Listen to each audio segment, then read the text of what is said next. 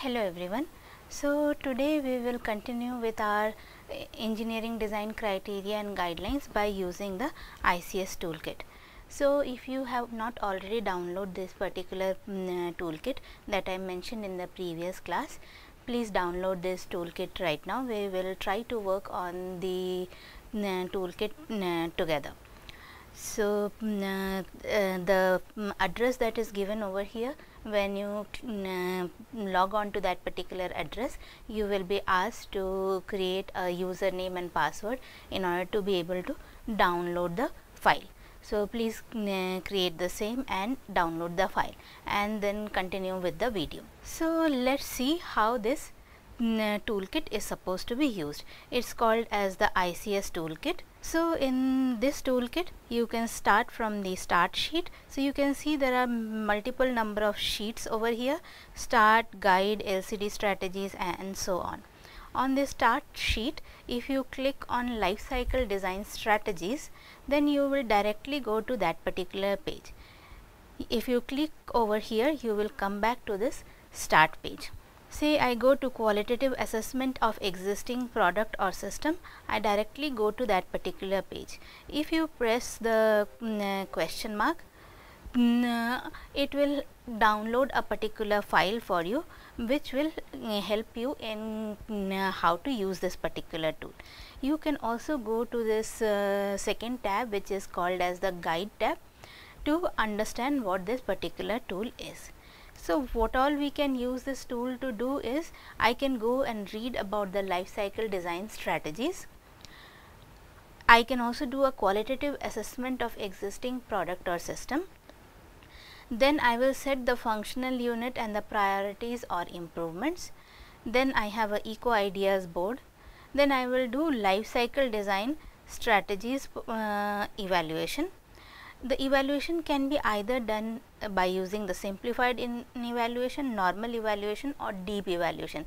You can do all the three, you can also select one of them depending on your requirement as well as the time available to you.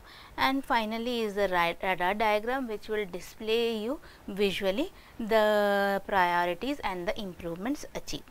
So, let us go to the guide. So, if we enlarge this particular guide, you will see that it talks about ICS is composed by the following tools, qualitative assessment of existing product or system. It is a set of qualitative checklists for each of these six life cycle design strategies and are given to help achieve the environmental assessment of existing or reference product or system. The ICS toolkit is only meant for the environmental dimension. As you had already seen in the previous uh, lecture when we were talking about the engineering design and guidelines, we were talking only on the environmental uh, aspects. So, for each of the criteria it is then possible to define the rela relative priority. I can give a high priority and it stands for H medium priority M, low priority L and no priority mm, N. Then we will define the functional unit and priorities or improvements board. So, it is here mm, the functional unit will be put on and mm, we will use a report you will use a table to say whether there is a radical improvement incremental improvement no change or the idea has gone worse. Then you have an uh, eco ideas board which presents before you all the criteria and guidelines and by using those criteria and guidelines you can ideate on that particular board. Finally, you go to the radar diagram where you select the best ideas generated and you do a analysis of the same. Finally, there is LCD strategies pursuing qualitative evaluation where you do uh, evaluation by saying whether it is a radical improvement, incremental improvement, no improvement or it is going worse. Again it can be done at the level of simplified uh, assessment which is at the strategy level, normal which is at the sub strategy level, deep at the guidelines level. So, when we go into more depth you will know what each of these mean important do not change the name of each sheets because the sheets are connected to each other using certain formula. So, if you change the name of the sheet there might be problems which might come.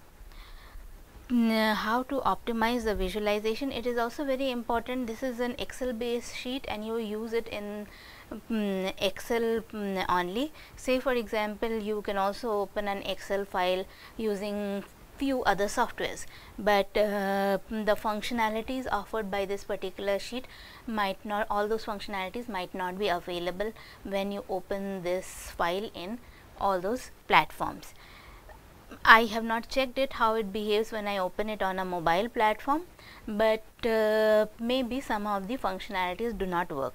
So, it is always better that you open this Excel sheet uh, in Microsoft Excel on your mm, computer. So, how to optimize visualization? In the menu bar click view or full screen. In the menu bar click view or zoom. A window will pop up. At this pop-up window, click the option custom and insert a value that allows the visualization of all elements of the sheet.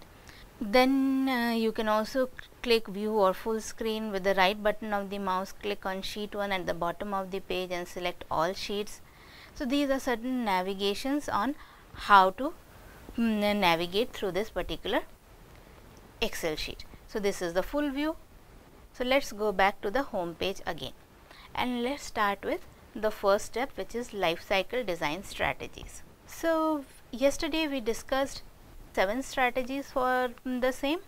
Here they have been grouped into 6 because I have combined in this material and energy consumption reduction together whereas in my mm, slides presented mm, in the last lecture they were separate groups and elaborated in that.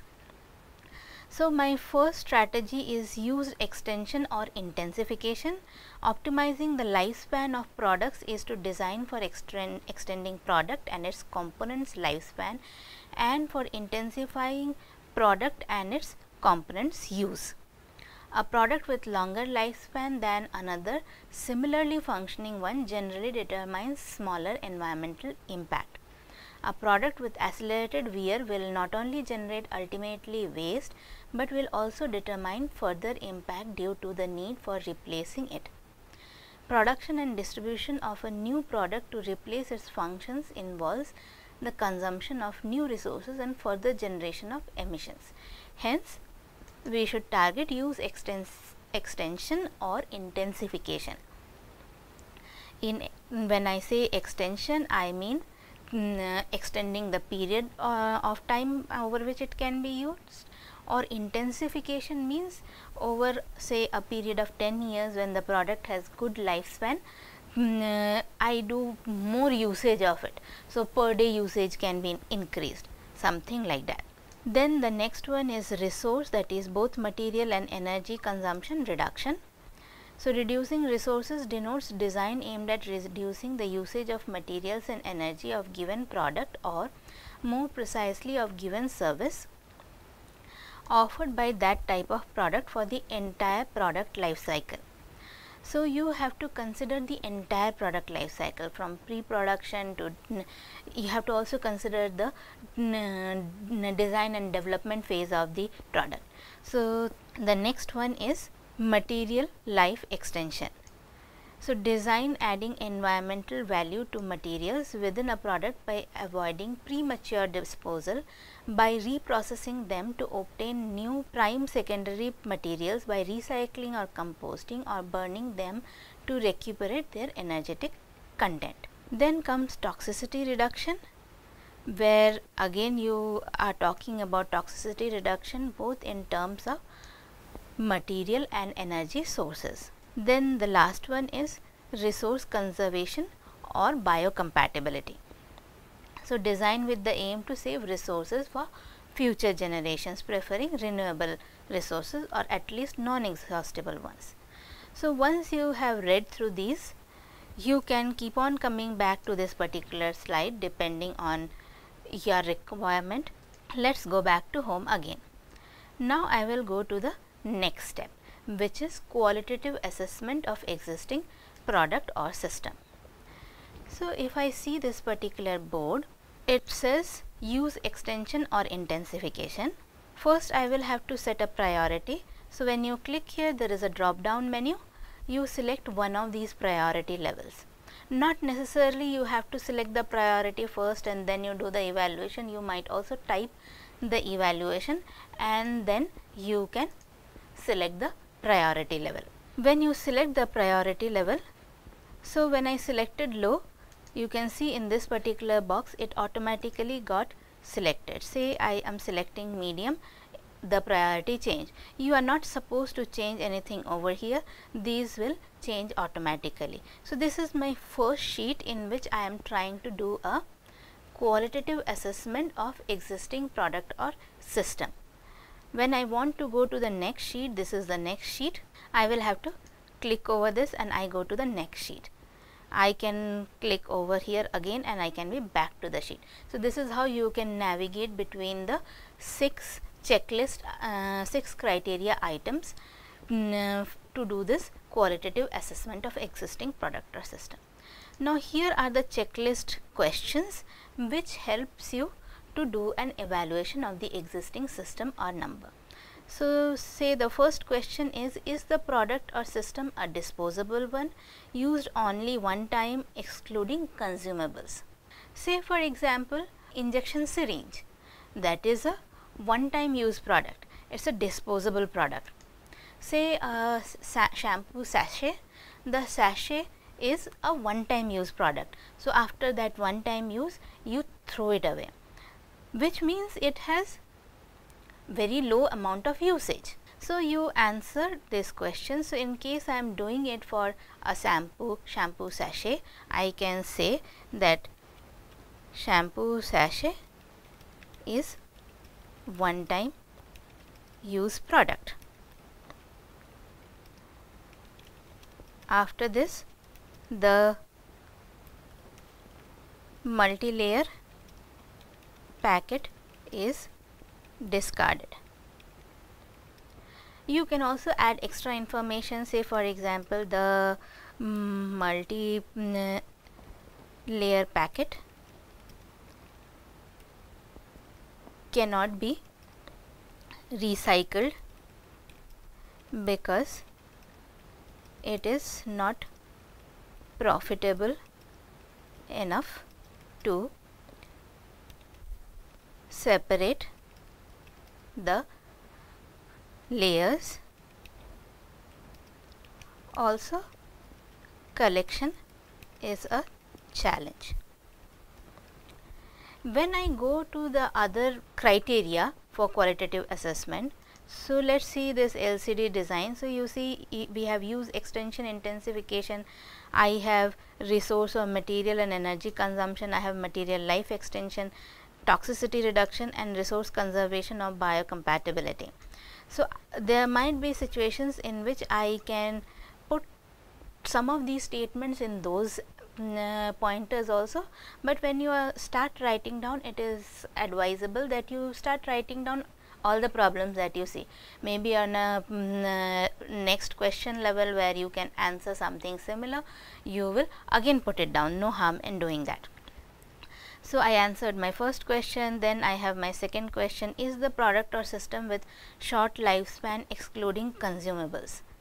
So, the difference between the first one is here I am disposing of here is it with a short lifespan. So, the mm, uh, product is made in a manner that it has a very short lifespan.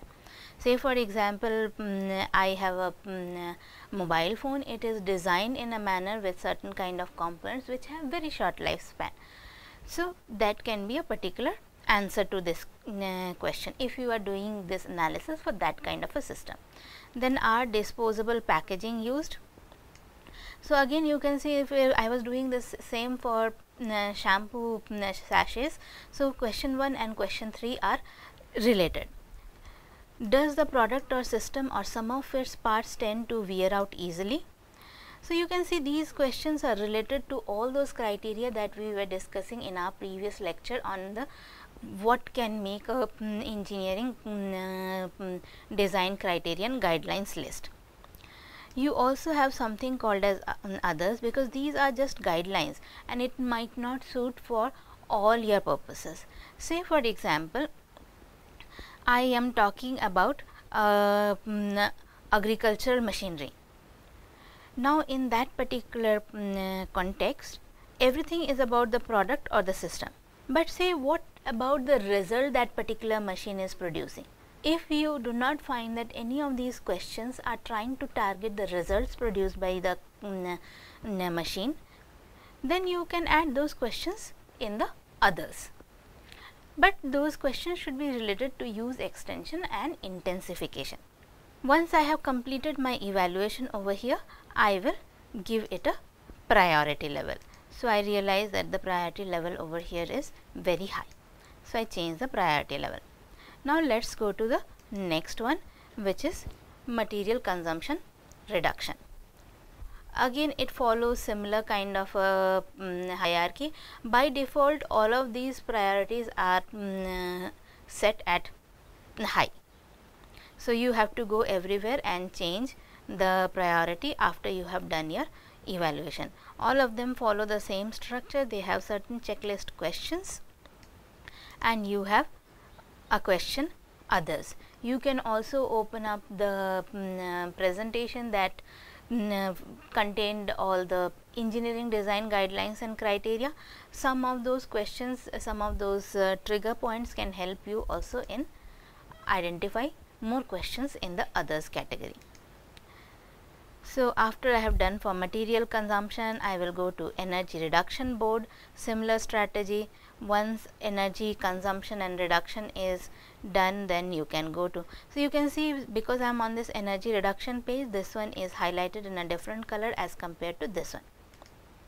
Then I go to material life extension, then I go to toxicity reduction let us set a different criteria level different priority level over here so let us say I give a priority level of low and here I give a priority level of in resource conservation or biocompatibility mm, uh, none.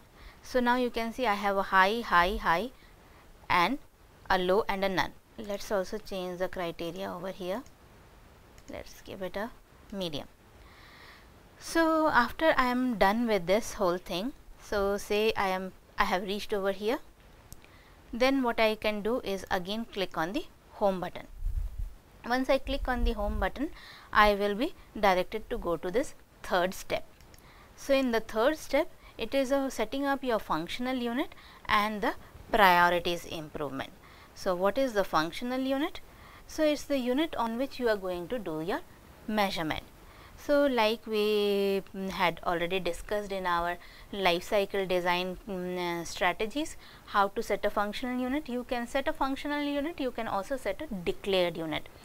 So, you can go back to the lectures to understand a functional unit or a um, declared unit. So, let us say um, kg of sachets per liter of shampoo. So, I declare that that is my functional unit.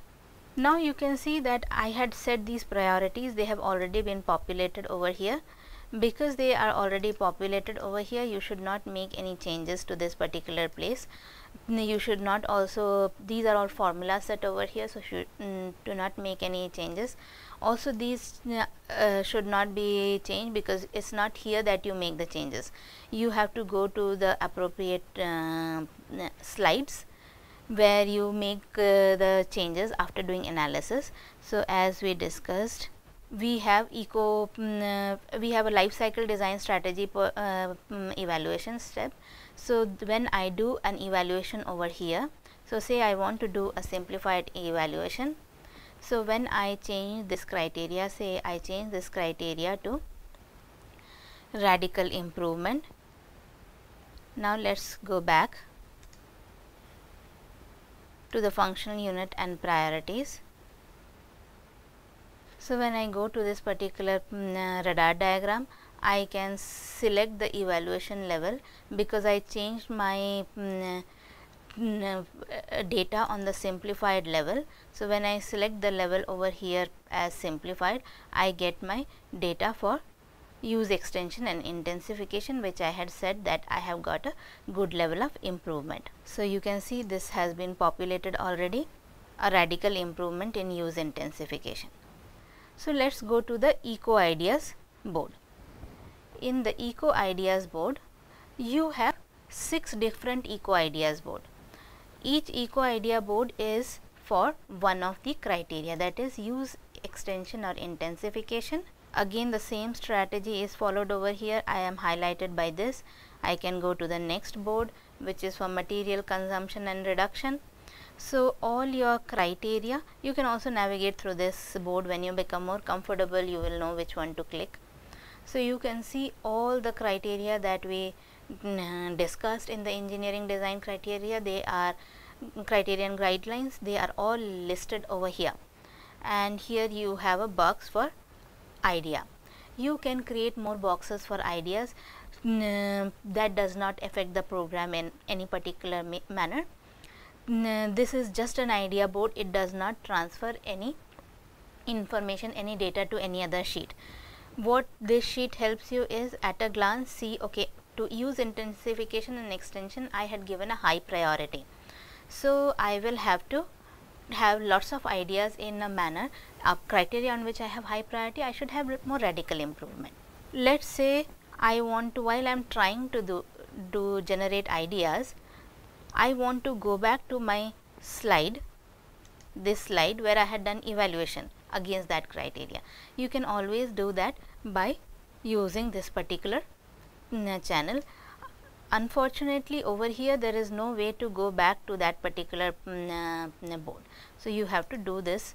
So, you can come here read your evaluation and again go back to this particular board and do this activity back and forth also there is no relationship there is no sequential relationship that you have to do this uh, EQA1 first and then EQA2 you can do it. Any uh, sequence you can also do EQA1 first and then you can go to the E idea 1 generation and start doing idea generation.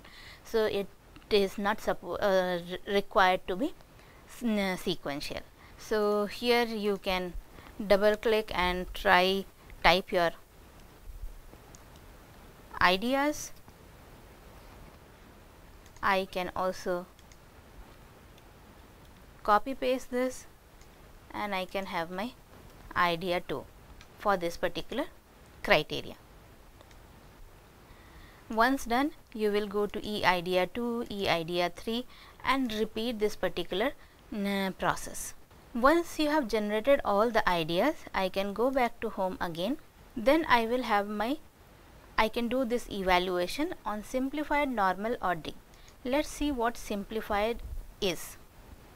So, if you see this particular um, chart here it has automatically populated what priority I had set for each of those um, criteria. So, I have high, high, high, medium, low and none. Now, what I can do is I can say what kind of improvement I have brought in. You really do not need to populate anything for these things. So, you are doing a very simple analysis, you are doing an overview analysis. This one is a very qualitative analysis and, and very overview level. You just do not think too much into depth of each and every component. You are also not getting anything um, in terms of numbers. So, let me say okay I got radical improvement over there, I got incremental improvement here, I got worse over here, which is not very a good situation where you have given high priority. Then I say mm, this was radical improvement. Then I say I brought in no improvement in this particular case, you can say not applicable. So, not applicable can be used only when you have none over here. In case you have put anything other than none over here, you should not say not applicable. Then I will again go back to home and I will go click on my radar diagram. Here at the level, so here at level you select simplified because I have done my simplified evaluation. So, against each of them you can see okay if there was a priority high. So, this outside circle is meant for priority high, the inside circle is meant for priority medium here I have low priority and here I have low prior. Mm, okay sorry mm, uh, I made a mistake. So these circles are meant to show what is the improvement level which has been uh, brought in. So mm, uh, the outside circle tells about very radical improvement. The next layer of circle tells you incremental improvement. This one says that there has been no improvement and this one is for mm, getting uh, things worse so you can see that so if you see here for use intensification you had given high priority and you have got radical improvement. So if I go to use extension I had uh, given a high priority and on that I have got a radical improvement. So my radar diagram is somewhere over here. In case of material reduction I had high and incremental improvement. So my radar diagram is at this particular point say for example for the mm, toxic uh, for the mm, resource conservation which is over here I had said it is not applicable and I had given low priority also. So as a result this radar diagram pointer is at the center because it's not applicable. So you get a very mm, visual picture for showing the qualitative comparison. If we go back to home again because now we want to do now we want to do a life cycle design evaluation on this normal. So in case of simplified what you saw you had the criteria. So i have my criteria i have all my guidelines and i'm not scoring against each guideline. I'm scoring scoring it on an overall mm, basis in normal what you try to do is you try to score each and every uh, sub criteria also. So say i got radical improvement here i got uh, mm, worse over here i became incremental improvement i have radical improvement i have got again radical improvement i got not applicable in this context worse and no improvement. So, here you can see you have got 55 percent. Say if I made it radical improvement, radical improvement, it already increased to 73 percent. Now, how do you qualify that one? So, here there is a score chart. It says if your score is between 76 to 100 percent you can put it as radical improvement so here you can see my score is 73 percent so it is a incremental um, improvement. Say I change it to radical improvement. So automatically because it became 75 percent your uh, score over here overall score, score got to radical improvement. So in normal mm, uh, mode you are doing at the sub strategy level as well.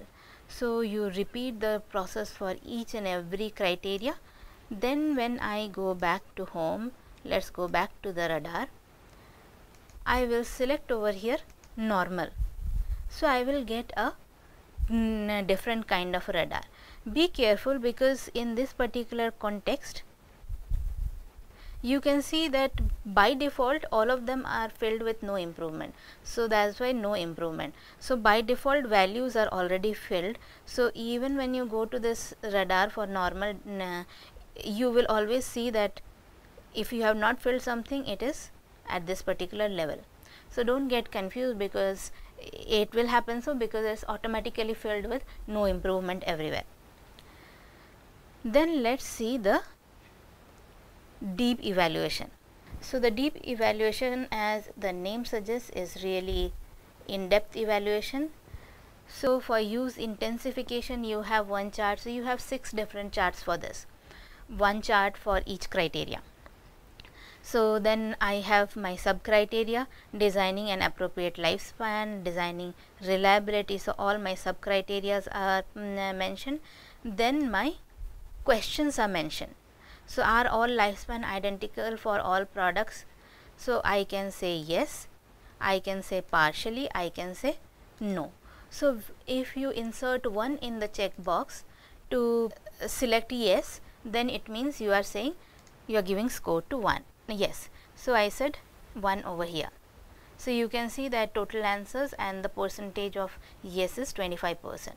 Let's say this one was completed partially only. This was completed uh, done yes. And here I have a no. So, now you have total answers. So, you can say applicable checklist is 4 total given answers is 4. So, this should tally once they tally you know that you have not made any error. You cannot have yes and partially yes in case you do something of that you have this missing answers 1 minus 1. So, mm, your number of questions and total given answers should match. Now, I know that I have got 50 percent on uh, yes, partially on uh, 25 percent and no 25 percent. Again, let us fill up this one. So, once this whole chart is filled up, we can go to the next chart. So, you can see there is an arrow over here. It takes you to the because there are lots of sub criteria and each one of them needs to be met. So, in this particular case rather than going to this board, if you go to this board you will go to the next criteria, you will not be going to the next sub criteria. So, you should click on these arrows. This shows me that there is one sheet or maybe more, more sheets over here. This shows that I have more sheets on this direction. So, when all my sheets are completed, you do not have anything over here, then you can go to the next one and similar strategy will be followed. Once you have completed everything you can go to the summary sheet. So, here the data is automatically populated. So, you can see because I filled up something over these places. So, automatically it is saying because there is 19 percent yes partially is 3 percent and no is 3 percent it is giving a uh, judgment that it is worsening of the situation.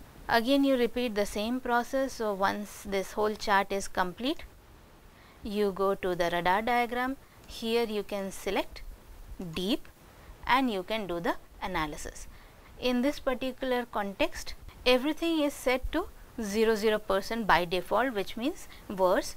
As a result, you can see that this kind of a diamond, uh, this kind of a hexagon will be visible to you on the radar diagram if you have not done any modifications to it.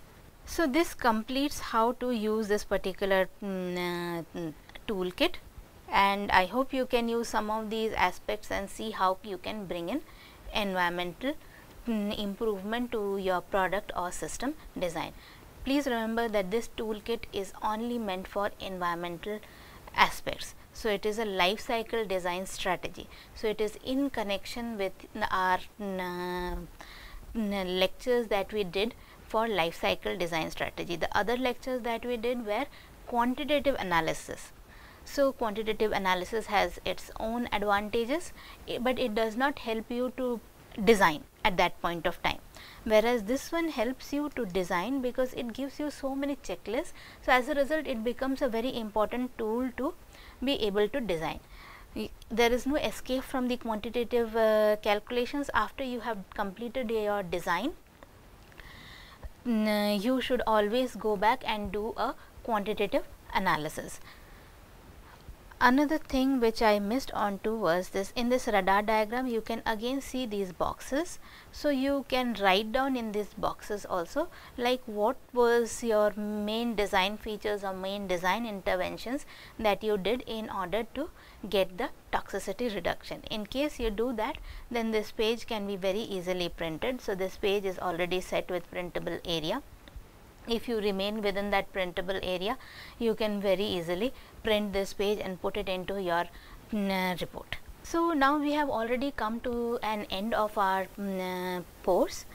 So, in our last lecture we will do a summary of all that we have learned till now and we will also try to see all the connections which we can now more appreciate because we have learned a lot more about sustainability and design for sustainability. Thank you.